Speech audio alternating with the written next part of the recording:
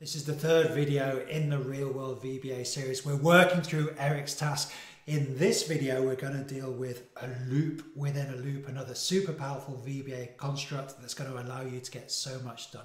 Let's get back into the file. And again, before we do anything, we've got to be clear conceptually about what are we trying to do here. Can you describe in English what we're trying to do? Is it clear enough in your head? Well, we've got one loop uh, in the routine so far, and that loop is looping through the sheets, going from one sheet to the next sheet. You know, we're fairly comfortable with that.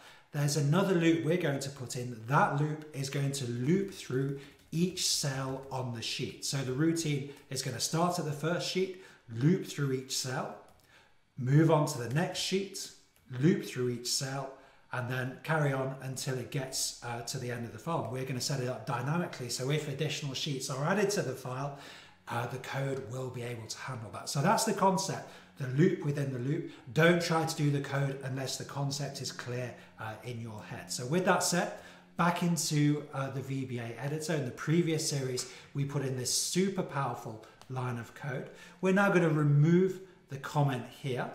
Then we're going to, in fact, I'm going to put it back in for a second. Then we're going to think, what kind of loop do we want here? We've already used a for next loop to loop through the sheets. Now we're going to use a for each loop, which allows us to loop through objects in a collection the object in this case is going to be a cell and the collection is going to be a range of cells. Do something to each cell uh, in a range of cells. In order to control the loop, we need a variable.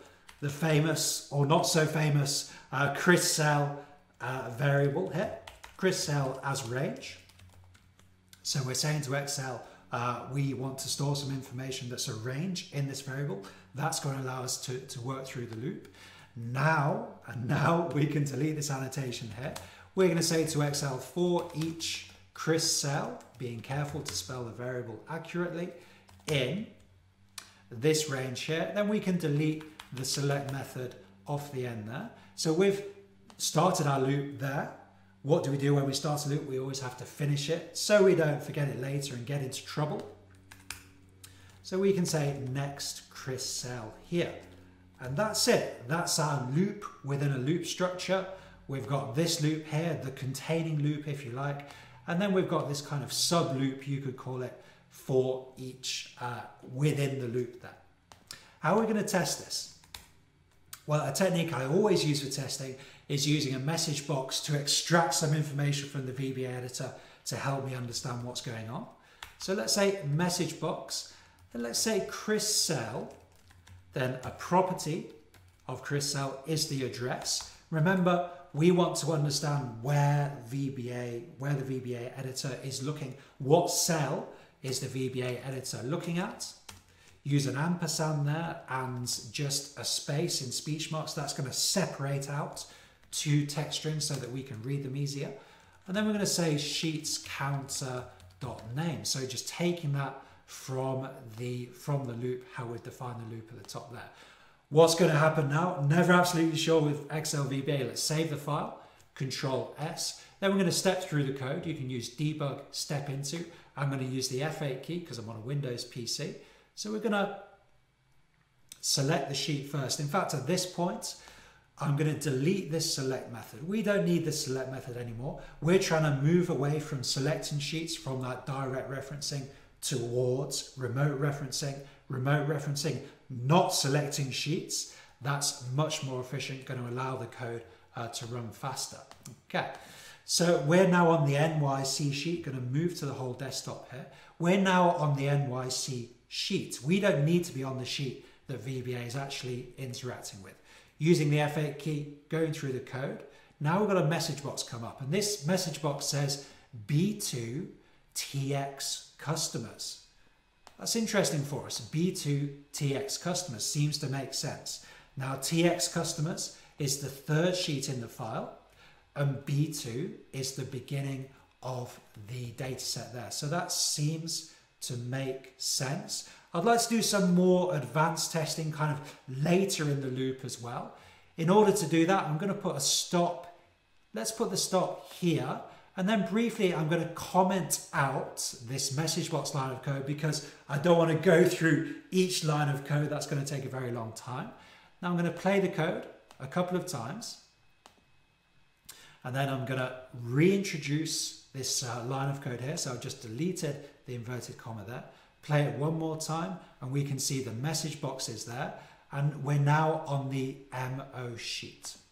Okay, and B3 looping through B4. Okay, now I've committed the cardinal sin of getting getting stuck in a loop here. So you could just keep hitting return until you get to the end of the loop. A trick here is just to hold down the escape key, hold down the escape key, then you'll get the usual uh, Excel error message. You can then just hit end or debug. Debug's going to take us back uh, into the routine. So just holding down the escape key can get you out of one of those uh, interminable loops. Okay, this seems to be working well, this loop within a loop mechanism. But you're saying to me, okay, Chris, so we've just got, you know, the cell address of each of the sheets. We're looping through those, looping through the sheets.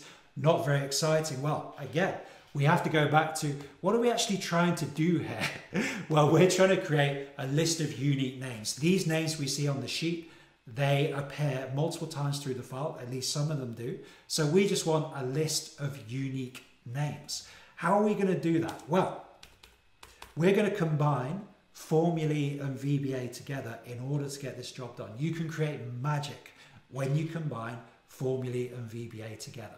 Let's just do some copy pasting, do manually what we're trying to do. We want to go to the first sheet on the TX sheet, taking the first name here, which happens to be the name of my dog, Luna, taking the first name. And then we want to look at the database. Is the name already in the database? Because we only want unique names. Is the name already in the database? No, it's not. Let's just copy it in. Okay. Then to, to the second entry, Control C and Control V, copy it in.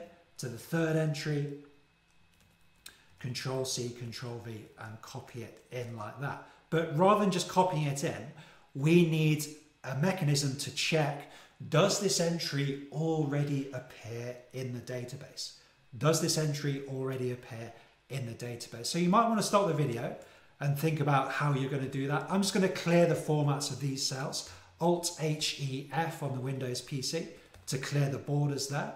So how are we going to set up this mechanism? How can we say to Excel, check if this value is already in this range?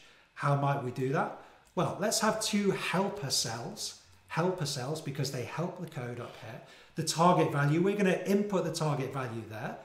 And then we're going to say already appears, question mark. Okay, so for example, we're going to take, in this case, the name Luna, put it in this cell.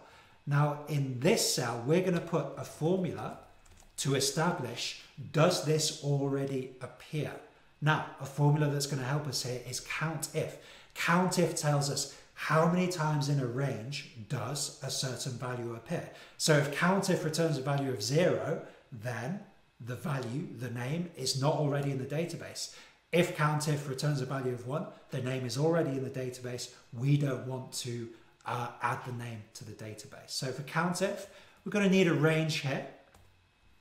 Now I'm going to define this range manually. You could do some kind of dynamic definition here.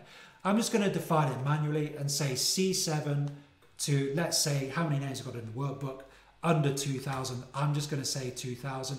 You could do a more dynamic definition using the techniques uh, we've covered here. So that's a range. Then the criteria is going to be the name. We're going to tell VBA to input the name there, to input the name in cell D2. Once the name is inputted, we're going to say this formula is going to update.